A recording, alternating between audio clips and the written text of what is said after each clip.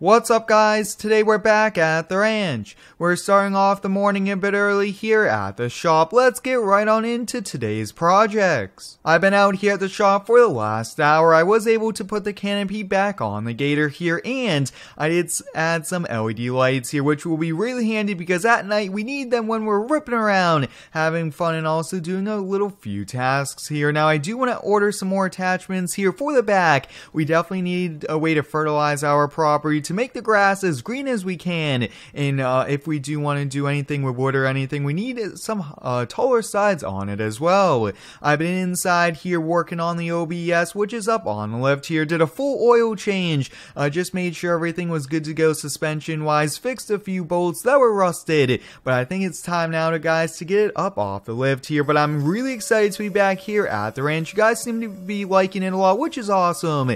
And we do have a lot of things to come here. Lots of things at this new property. Let's get the hood put down. Let's get the 7.3 fired on up here. One of my favorite engines of the uh, Power Strokes here. Wow, this truck looks pretty sweet. I think for now, why don't we just kind of pull right on outside. Uh, that way we can kind of get it cleaned on up there. I think I spilled a little bit of oil, and we definitely want to get that cleared on up pretty soon here. But a few things, guys, here with this shop. We built it last week, and I'm already kind of starting to get uh, some stuff ordered. I ordered some pretty cool signs off the marketplace, some old Ford logos, things like that uh, to kind of add some more decorations here too. We do now have power here. It's separate from the ranch, which is kind of nice. Uh, but guys, what I did order was the steel, the wood needed to make a trailer port. Uh, that way this will be covered here because when it snows, we don't want this getting frozen over with snow and things like that here. So that's pretty much it here for this ranch, but we have a lot to get done. And I think we'll first kind of get started off here with fencing. So you guys know, guys, the property is not flat. We've hills. You guys can see the uh, ranch properties up here. Look at that drop off. That is like a 10 foot drop off. And this one over here is about 15 feet. So I'm thinking, guys, uh, for safety, so no one kind of drives off here, I think it's time to put up a fence all the way around. And I was thinking, what if we do it here? But I think to make it look the best, we'll do one up there and one below here. And then I think we'll get some drone shots of the property here in a bit. I hope everyone's been having a fantastic day so far. My day's been pretty sweet here. Really am excited to be back here with uh, the homeowner series with the ranch here. It's a lot of fun. But guys, we have a lot of videos here in the works here. A lot of epic mods I can't wait to start to use in my videos. It's going to be an epic, epic 2021 here. I've said it for quite a long time and it just keeps getting on uh, better as well. And I am back to school, but uh, we are continuing daily uploads now over on Square Farms. I'm probably going to do a video video or two a week at most, uh, since I am pretty busy here. But with this fence, you guys can see it's going to go all the way around. Look at that. Now, one thing I really don't want to kind of, uh, kind of a nice straight fence, having uh, the kind of back and forth, add some character to it, and I just wanted to kind of look as natural as possible, as well as it takes a little bit too much time here for us, and we just need the fence uh, really to kind of help us on out here. We don't want anyone kind of falling off, but I will say, guys, in the winter, we'll probably try to go slow letting off it as well. I think that would be a ton of fun here for the kids. But I actually did get a little bit of snow, and I definitely want to see if I could do some more snow blowing videos. So there we have it. The first fence is done. Up here will be a little bit more work, and let's see. I don't want to start it all the way back there. Maybe right where it just kind of starts to get uh, pretty big here. But this property, though, is probably one of my favorite ranches of all time in Farm Sim. It just looks so nice, so natural, and I definitely want to kind of keep it that way looking good. Now there is a full mods list up on my website if you guys would like to go check it on out. Every single mod I use, even if it's private, I do have it listed. And that way you guys can see where all the mods come from and possibly download them as well and use them in your own game here. And if you guys haven't already, go check me out on Instagram. I post every single day over there some exclusive sneak peek content as well. But we're just about done here. I actually got to get a few fence posts as well. But wow, that looks to be pretty good putting in the last of the fence posts here. A lot of work, but uh, being the place where objects makes it pretty quick and easy.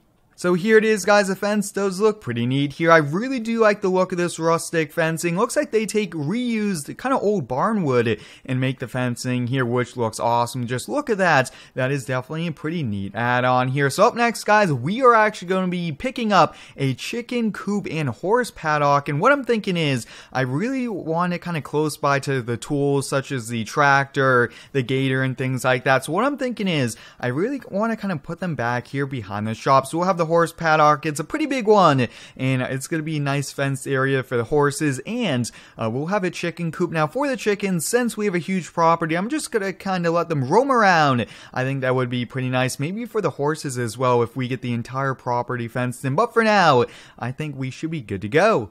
Let's start off here with a horse paddock. I really do like this one here. Looks really, really neat. I'm not sure on the height of this here. That might be a little tricky to adjust. And uh, looks like we did a pretty good job here. A little bit of touch up to do there on the grass. Other than that, though, I think that was a pretty good placement. Finally, we do have the chicken coop here. We do want to leave enough room. Actually, what if we kind of put it back here in this corner? I think this would be a pretty good spot for it. Yeah, that definitely kind of works out nice here. And hopefully they don't kind of run down here. And if so, hopefully they find their way back home. Here we have it guys, we have the horse paddock, which is very nice. I think this could hold probably four horses, and we'll only be buying two. At our previous ranch, we had, I think, three horses. We sold all three, and we actually made quite a bit of profit since we trained them, and they were well taken care of here. So it looks like this is where the hay, the oats has to go. Here looks like we have a gate back here, which is pretty neat.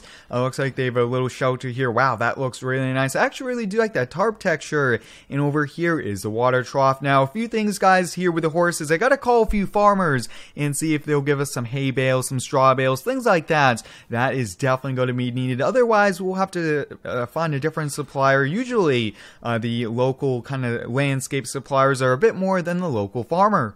Alright, we'll take a look here at the chicken coop, and we are actually going to be picking up the chickens here. They should arrive here any moment. We are going to be going here with a few uh, roosters, and we want a few different types of chickens as well. I think we're going to fill it up pretty quickly. Oh, yes, guys, looks like this is a pretty small pen. We might have to buy a second one, and that is very nice here. So looks like they have the bedding. We just need to bring chicken food, and once again, I'm going to have to talk with a few farmers. Definitely have to get on the phone with that soon. Uh, but what I'm thinking is now it's time to go up top top there and do a few other things.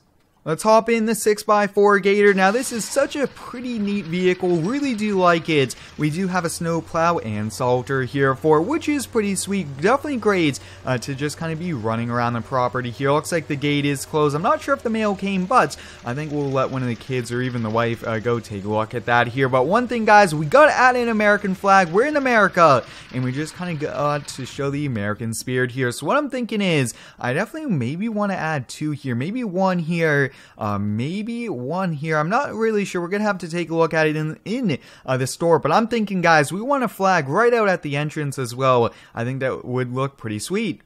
Alright, let's take a look at where we want the American flag here. Just right off the bat, I'm looking kind of right there, or I think right here will be kind of lost here. So with the flag, guys, we actually have to have a light on it at night. Otherwise, we have to take it down here. Luckily, I will be installing lights that turn on automatically, which will be really helpful for us as well.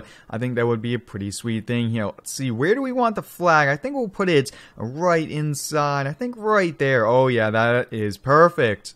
With the flags in place there, that definitely shows our American spirit here. Let's head inside here, guys. I definitely want to go up on the computer here, see if uh, what I could do here with the farmers, uh, get a few numbers, give them a call really quickly, and maybe I, I might do a little bit of online shopping here for uh, maybe some equipment, but we'll kind of catch you back here in a bit. Alright guys, I just got off the phone here with a few farmers. Looks like we have all that ready to go and uh, we will be renting a horse trailer next week to kind of go pick up the horses. But guys, I just got a call from my buddy at the Ford dealership. You can't believe it. They have a 2021 Ford Bronco. I've always wanted one of these ever since I saw Ford release this. I said we just have to have it here in Farm Sim. So they said that we could get VIN number one of the Ford Bronco. So let's head on over there really quickly. We got to sign the papers. We got to get there uh, so that we could be the number one of kind of Ford Bronco purchase here. But I can't wait. And they did say it does have a lot of factory accessories already on it.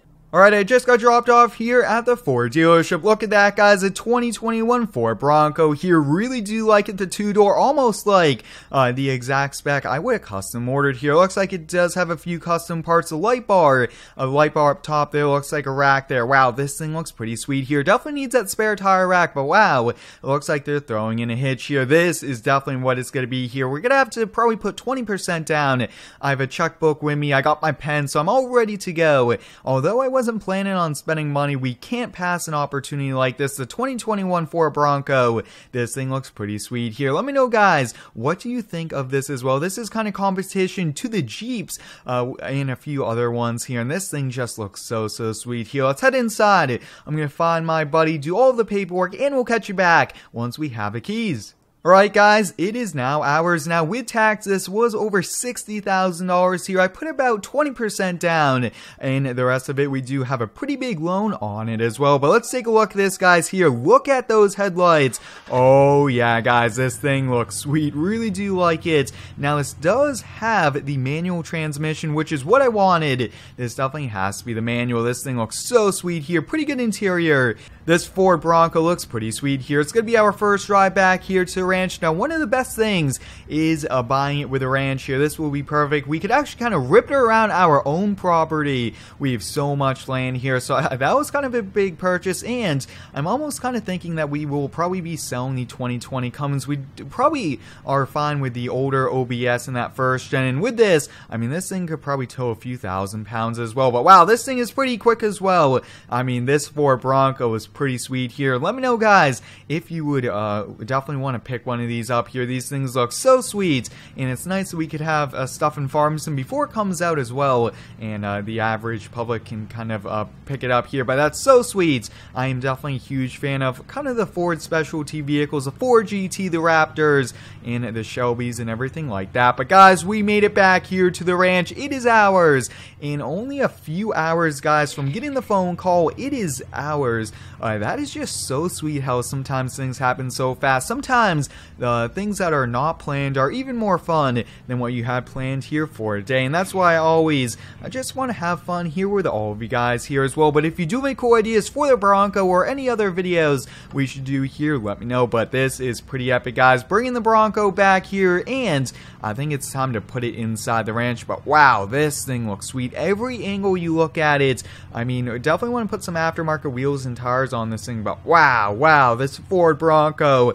I can't believe we even have a Bronco. That's so, uh, so awesome. Now, one thing, guys, we might just have to look for the old Ford Bronco, and uh, maybe we could own both generations. I think that would be a pretty sweet thing here, but I'm going to put this inside. I'm going to take a few pictures and call it a day, but hope you guys enjoyed today's video. Thanks for watching. Stay tuned for next one, and subscribe for more.